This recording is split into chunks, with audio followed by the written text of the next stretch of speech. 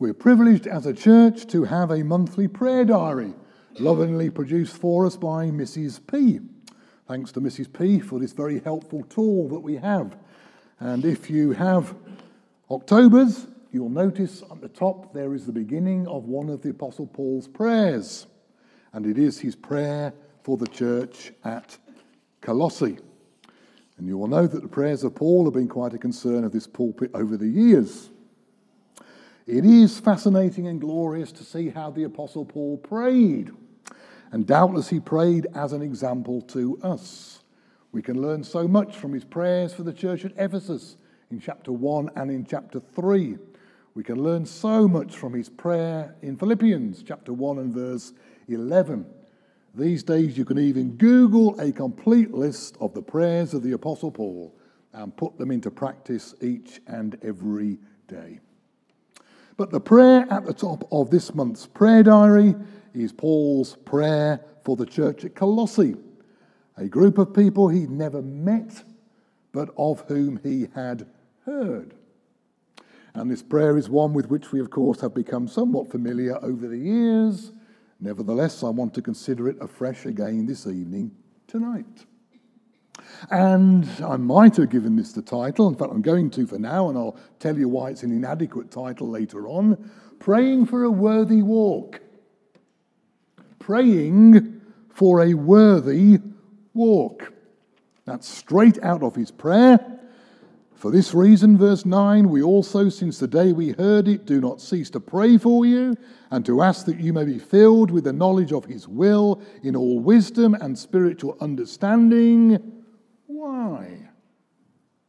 That you may walk worthy of the Lord. Praying for a worthy walk. When somebody says to you, What can I be praying for you? I wonder how many of us reply, You could pray that I have a worthy walk. How many of us would say, Oh, no, I couldn't, I couldn't ask for such a pious thing?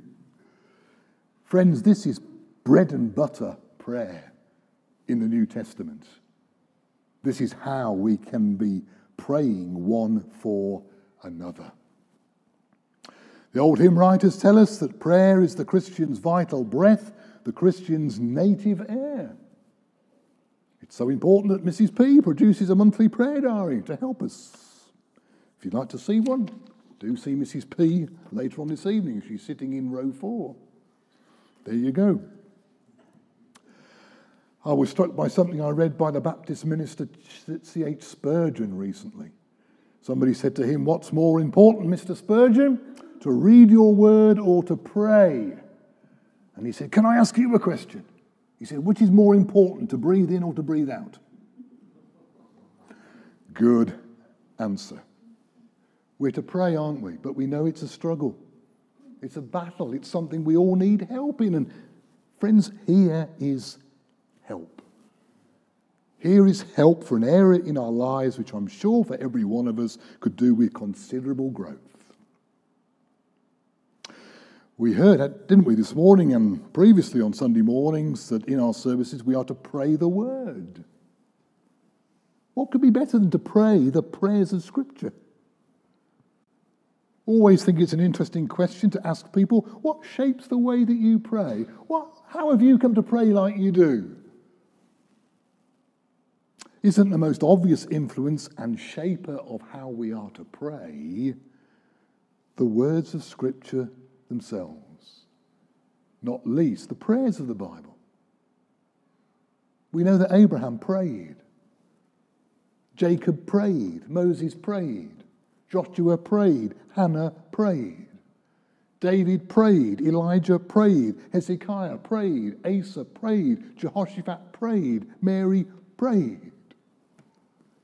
Jesus prayed. And he also gave us his teaching on how to pray. The Apostle Paul teaches us how to pray, and then he gives us an example of how he does pray. And I'll say again if the content of our prayers if the transcript of our prayers, individually and corporately, when set next to the prayers of the Apostle Paul, doesn't match up, then something needs to change, doesn't it? Surely we are a people who are to pray. We're not to be practical atheists, and we're to pray as the Bible prays. Three things this evening. This particular prayer, we'll see the petition in verse 9. For this reason, I do not cease to pray for you and ask. We're going to see what Paul asks for.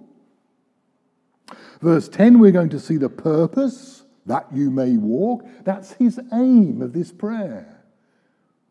He prays this prayer as a display and outworking of his appetite, really, for the believers at Colossae. And then in verses 10b, 11, and 12, we see the aspects which would appear in their lives when this prayer is answered. So he's asking. He's got an appetite which he expresses. And then we see five aspects of the life that he is praying for. I want to begin with his appetite. Why does he pray the prayer that he does? I think I've told you before of the time when I was in Uganda with Hugh Thompson, who was a pastor at City Church in Birmingham. And he just related that a student in his church, there are many students there in the church in Birmingham, came to him and said, Pastor Hugh, will you pray for me, please? And Hugh was very pleased that the guy wanted prayer and was very pleased to be asked. He said, What would you like me to pray for? He said, I want you to pray that I'll pass my exam on Thursday. And Hugh said, Why do you want me to pray that? Why do you want me to pray that? What appetite is behind that request? And was it not merely that God was a slot machine of academic success? Some answers I think we would give if we were asked why we pray in the way we do, if you think about it, as I do, and it's a very painful answer at times. How many of our prayers express a desire that our lives would be comfortable, that our lives would be conflict free. Oh, please, Lord, this week can I be as free of inconvenience as possible? Lord, make me successful this week. And all I would say at this stage is that's a long cry, isn't it, from the way that Jesus taught his disciples to pray. When you pray, pray, Our Father who is in heaven, your name, all that you've made known about yourself, let it be hallowed, let it be prized, let it be treated as holy, let it be precious. Let your kingdom come, let your will be done. Oh Lord, make my week as free of inconvenience as possible. The appetite that Paul shows here is for these people, Christian people didn't know, is that they would simply walk worthy of the Lord. Isn't that lovely? I Wish the Apostle Paul prayed that for me. Three things it's personal, real lives are involved. I pray this that you, that you, that you, you, Christian brother and sister. Secondly, that you may walk. Love that word, so does Paul. As disciples, we are learners of Jesus principally, aren't we? We're learning to walk with Him and we're learning to walk like Him. We're learning Him and we're learning Christ likeness. And when Paul uses this word walk, he means the way that we live. It's a description of our life, the progress that we make as we put one foot in front of another The great desire Paul had for these new believers was that they would walk as Jesus walked. Walk means the whole direction of our lives, our conduct, our behavior. And I want to say to you tonight, we, we've all got to walk. You've got to walk, and I've got to walk. I remember the story my dad told me, and I think this one might have been true, of how um, somebody once saw him in an office down in London. And they said, uh, Oh, it is you. I saw you earlier on. And he said, Well, how do you know it was me? He said, I could tell by your walk. I don't think my dad walked particularly oddly, but he'd got a walk and it was recognized. There's a lovely scene in the Bible in the days of King David when two runners go to David with news that his son Absalom is dead. And the two runners head off to David, and there's a watchman with David back at home, and the watchman sees two runners coming. And he says, I think the running of the first is like the running of Ahimaaz, the son of Zadok. You see, Ahimaaz had got a run, and it was recognizable. Oh, that must be Ahimaaz. That's the way he runs. And whether we like it or not, we all have a walk that is recognized. People might make a bad judgment of us, but they will nevertheless recognize the walk which we have spiritually. We talked a little this afternoon at Growing Together about being put on the spot.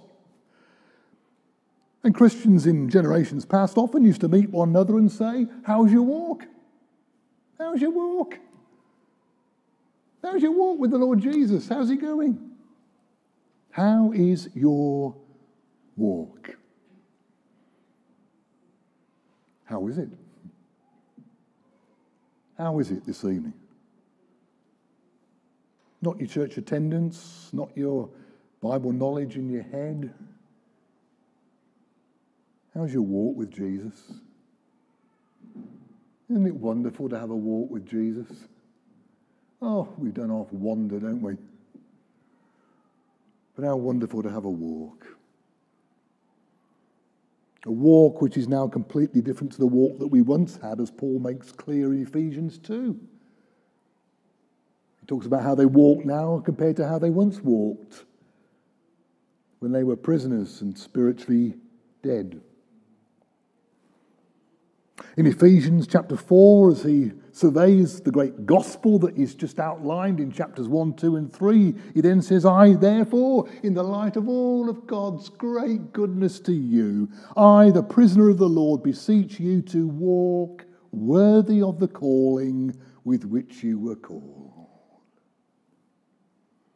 In Ephesians chapter 5 and verse 2, he says, Walk in love. How's your walk? How's your walk with the Lord each and every day? How would others who know you best describe your walk? You see, Paul was concerned with their walk, their life with Jesus day by day. And he was concerned for the sort of walk that they had. It says here that you may walk worthy. You may walk worthy. Notice he said that in Ephesians chapter 4 and verse 1 too. He means that they may live in a manner which is fitting of who they now are. I want you to live in a fitting manner, a manner that now suits you, a manner which is now becoming of who you are. It's obvious that he means a walk that doesn't bring shame upon their new master, a walk that brings him honour and glory. In Philippians chapter 1 and verse 27, Paul says, Let your conduct be worthy of the gospel of Christ. Let your behaviour, let the way that you live in your own home, with others, with your neighbours, with your family, with those at college, with those at work, with those at the club. Let your conduct, your walk, your behavior be worthy of the gospel of Christ. When he writes to the believers at Thessalonica, that very young, immature church, he reminds them, 1 Thessalonians chapter 2, 11 and 12, we exhorted and comforted and charged every one of you as a father does his own children, that you walk worthy of God, who calls you into his own kingdom and glory. It's his concern, isn't it? He doesn't know the background of these people. He doesn't know He doesn't know them personally, he's just heard about them. He doesn't know their personal circumstances. But it didn't matter to the Apostle Paul because he prayed for that which is most important, the appetite that was most obviously on his heart for a worthy walk.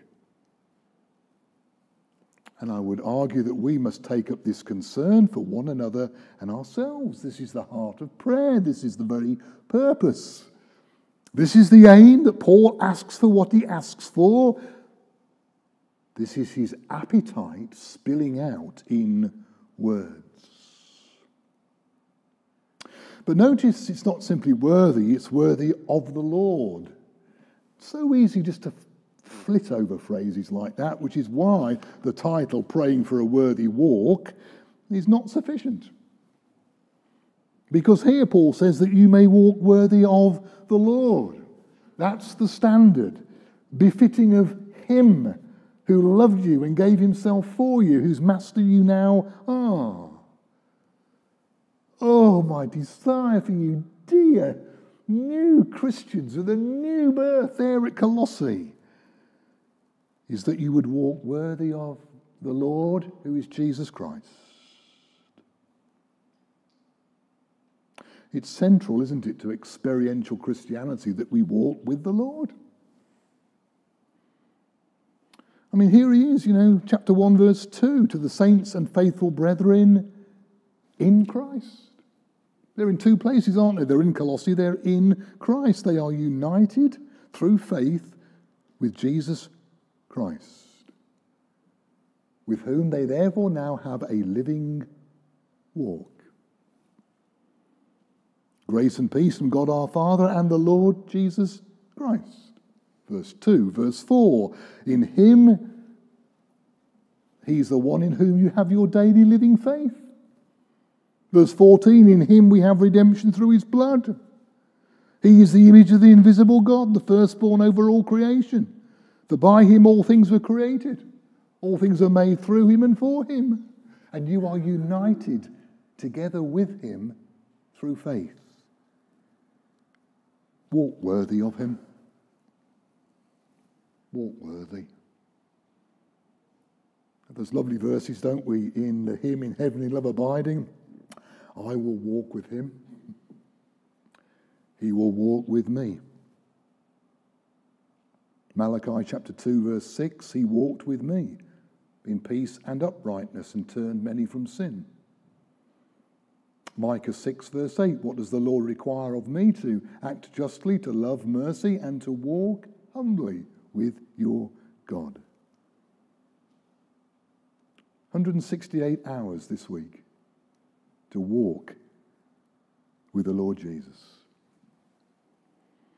It's an old hymn. Oh, walk with Jesus. Would you know how deep, how wide his love can flow? They only fail his love to prove who in the way of sinners rove. Walk with him, that way is light. All other pathways end in night. Walk with him, that way is rest. All other pathways are unblessed. Oh, walk with Jesus to your view. He will make all things sweet and new. He'll bring new fragrance from each flower and hallow every passing hour. Jesus, a great desire have we to walk life's troubled path with thee. Come to us now, in converse stay, and oh, walk with us day by day. We all have a walk. If we're Christians, our walk is in Christ and with Christ. Oh, may God help us to have an appetite this week and then to put into practice a walk which is worthy of the Lord. Secondly, we'll go back to verse 9. We'll look at the asking. We've looked at his appetite. We'll now look at the asking. Given this appetite, what does he ask for? Well, it's a prayer. He's looking to God to do something. He's praying here that they would be filled. It's clear that God is going to do the filling. When we take up our prayer list from Mrs. P in the month of October and we pray for one another, What shall we be looking to God to do for one another? Something spiritual, something of the Holy Spirit. What a great thing to be able to pray one for another. Paul has this great desire, this appetite, so he asks. Not difficult to ask, is it? Simple thing to ask. We're given great encouragement in the scripture to ask. Ask and it will be given, seek and you will find, knock and it will be opened to you. If you, being evil, know how to give good gifts, how much more? We couldn't be more encouraged, could we, from the scriptures to ask. What a privilege to be able to ask God according to his word. Well, what are you asking for for others and yourself? When you pray, what are you asking for? Well, because Paul's concern was that these people would live a life worthy of the Lord, he asked for these things, and there's four parts to it. Number one, for this reason, we also, since the day we heard it, do not cease to pray for you and to ask that you may be filled. Filled. Well, that's a bit extreme or enthusiastic, isn't it? Filled, Paul says. It's a great Pauline word, isn't it? Then the end of Romans, he says, Now may the God of hope fill you. He's not interested in half measures, is he, the Apostle Paul? Fill you with all joy and peace in believing. Ephesians 3, that you may be filled with the fullness of God. It's a great concern of the Apostle Paul. He doesn't just want them to receive, he wants them to be filled. We all know the difference between a half filled tank and a filled tank. A half filled church or a filled church. A half filled Greek restaurant or a half filled or a filled Greek restaurant for this morning. A, a plate that's covered in mezes or it's only half filled with mezes. We know the difference. Paul's a full man. He's looking for the Colossians to be filled. That means he wants them to be objects passed through by something else and filled by it. He wants something to extend through the whole of their being. Great word, filled. We read in John chapter 12 at Bethany, Mary anointed the feet, of Je- the feet of Jesus with a pound of costly oil of spikenard, and the house was filled with the fragrance of the oil. The fragrance was everywhere. Every cupboard, every room filled. At Pentecost, a sound from heaven filled the whole house. It passed through the whole house, extended through the whole. And filled here, as the Apostle Paul means it, means to be filled, to, to be passed through with an influence. In John's Gospel, we read, chapter 16, verse 6 sorrow has filled your heart. Sorrow has filled your heart with an influence. We read that Ananias and Sapphira were spoken to. Satan has now filled your heart to lie. I want you to notice that Paul prays that these people will be filled by something. As a fragrance fills a house, or as a sound fills a house. Don't ask for less. He prayed that they would be filled. Secondly, with what? What did he pray that they would be filled with? Knowledge. And to ask that you may be filled with, first of all, the knowledge. Let's just stop there. He wants them to be filled with something that they are to know. The knowledge is not merely intellectual in their minds, though it's not less than that. But with Paul, knowing is participating in and being governed by a thing. He wants them to be filled with a knowledge which will dominate their lives. They'll be obedient to it. He wants them to be so governed by the thing known that they'll be putting it into practice daily in the obedience of faith. That's what he means by know. When Paul says, I want to know Christ, he's talking experientially. He wants to know him, encounter him, walk with him, not just know about him in his mind. He wants them to be constantly guided by something step by step, like the rudder of a ship. He wants them to be filled with something that they know. What is that thing? Thirdly, it's God's will. Ask that you may be filled with the knowledge of His will. And at that point, 21st century Christians probably stopped and think, oh, I wonder what particular decision they got to make at Colossae. Because that's how we tend to think about God giving guidance by His will, isn't it?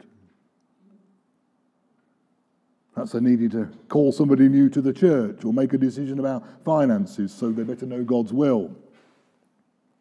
Well, we don't despise such things, but we can really have quite a misleading and dangerous view of God's will.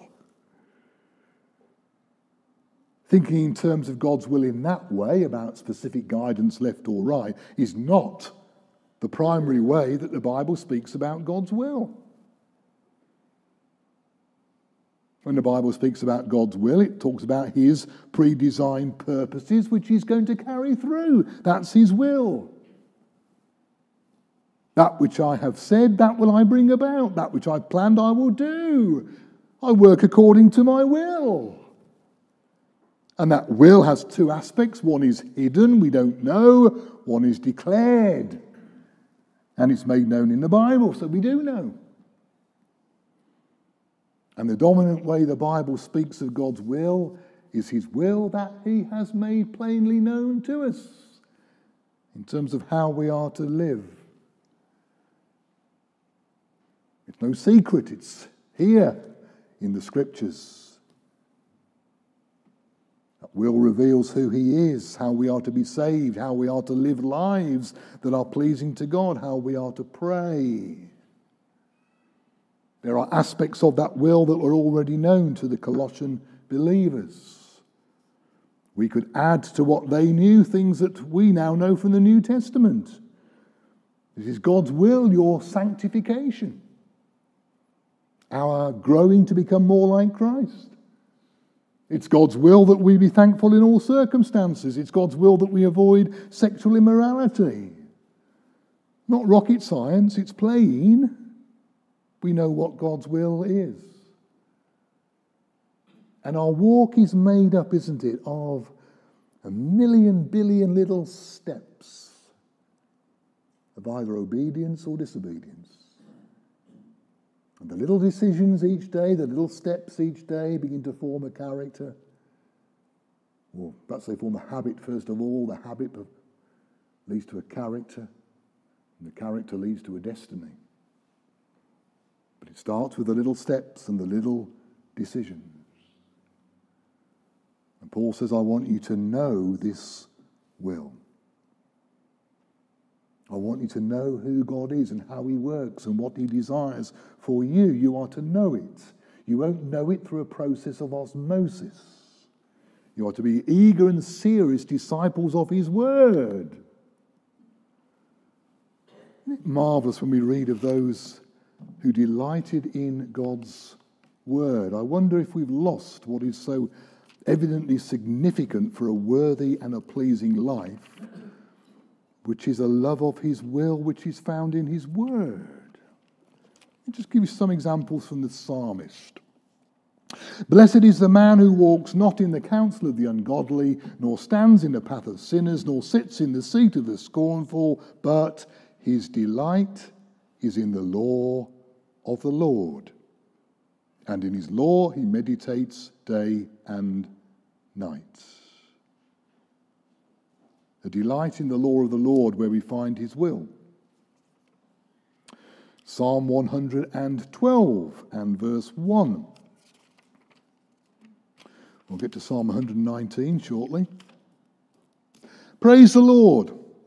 Blessed is the man who fears the Lord who delights greatly in his commandments.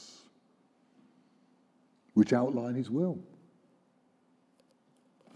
Psalm 119, just a few examples. Verse 16 I will delight myself in your statutes, I will not forget your word. Your testimonies also are my delight and my counselors. Make me walk in the path of your commandments, for I delight in it. Their heart is as fat as grease, but I delight in your law. Let your tender mercies come to me that I may live, for your law is my delight. Verse 92 Unless your law had been my delight, I would then have perished in my affliction. There's people here tonight who could say that in recent days. Unless your law had been my delight, I would then have perished in my affliction. Verse 143 Trouble and anguish have overtaken me, yet your commandments are my delight. I long for your salvation, O Lord, and your law is my delight. The Apostle Paul had a great desire for the Colossian believers. It was that they would walk worthy. And so he asked that God would fill them with a knowledge of his will, that God's truth and instruction would fill their minds and be one of their great delights when in Psalm 143 and verse 10, the psalmist says, Teach me to do your will, he's not asking to find out what God's will is, he's made it plain to him. He's asking that God will help him to perform that will. Teach me to do it, O God. What is to extend through the whole of us and our lives, what is to influence us moment by moment, is God's purpose to save and to sanctify, to make holy a people to himself. And Paul says, Because I want you to walk worthy of Jesus, I'm asking that God would fill you with a knowledge of his will. And lastly, he says, in all wisdom and spiritual understanding. That's how God's going to fill them. It consists of them being wise, it consists of them having spiritual understanding. They're going to be given the wisdom to know how to apply what they know, to put it into practice. They're going to be given spiritual intelligence by the Holy Spirit. What is needed for us is to discover personally and experientially that God's ways for us are best that's what is required for the renewing of our minds. That as we walk through this week with the Lord Jesus Christ, we will walk worthy. He had an appetite. And so he asked. And finally, and more briefly, notice the five aspects of this life, this walk, which is worthy of the Lord. Five things, just very briefly to close. And we should have an appetite for these things, shouldn't we? We should hear of these things and say, yes, that's, that's how I want to live. Number one, to be fully pleasing to Him. That you may walk worthy of the Lord, fully pleasing to Him. Not partially pleasing, not sometimes pleasing. It's that full word again, fully pleasing to Him. Isn't amazing we've been saved, even me, to be holy? At home, at college, at work, at leisure, in sickness and in health, in joy and in sorrow, in our thoughts and desires, in our words, in our actions, in how we spend our time and in how we spend our money. Every moment of the day, we can be fully pleasing to Him. The God who saved us, the God who's rescued us, the one who's now our loving Heavenly Father. He's not a fickle Father, is He? He's made known to us how we can please Him. What a joy to be able to please Him. Aspect number one. Aspect number two being fruitful in every good work. The fruit for which we've been appointed to bear. Every good work, everything we do, bearing some fruit. I'm sure primarily that means that our lives will be more and more like the Lord Jesus. The fruit of the Spirit being that we'll be loving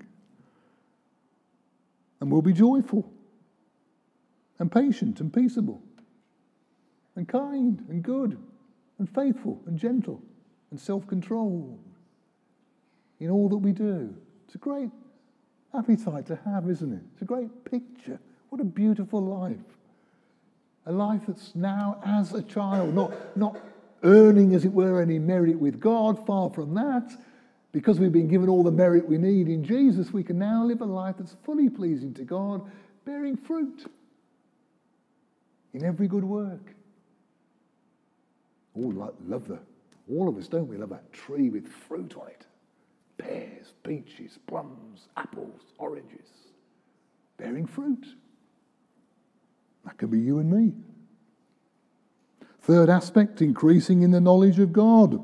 That's what pleases Him. He wants us to grow. We all want our children to grow, don't we, in all kinds of ways.